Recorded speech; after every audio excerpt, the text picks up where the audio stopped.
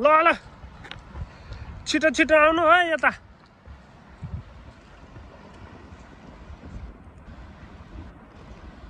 छिटो छिटो आउनु छिटो छिटो। म यहाँ भिडियो गरिदिइरहेको छु